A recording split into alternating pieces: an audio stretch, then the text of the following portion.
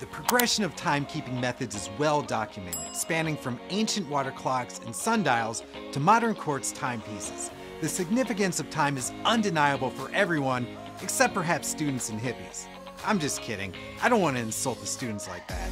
Well, now there's a new development in keeping time. Is it the next revolutionary thing? Stay tuned to find out.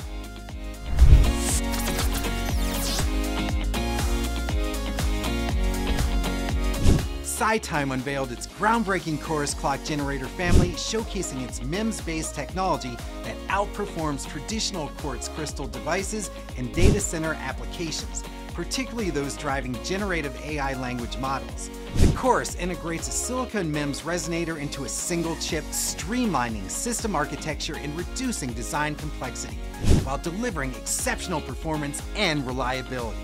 With options like the SiT91213 SiT91211 offering low jitter and ultra low jitter respectively, SiTime sets a new standard for precision timing in high demand data center environments. Well, I guess Quartz will always have a home with hippies, assuming they have one.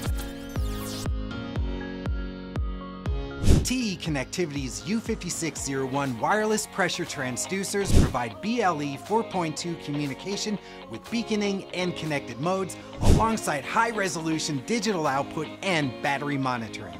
They offer customizable data updates via mobile app and come with various threaded port options and replaceable coin cell batteries.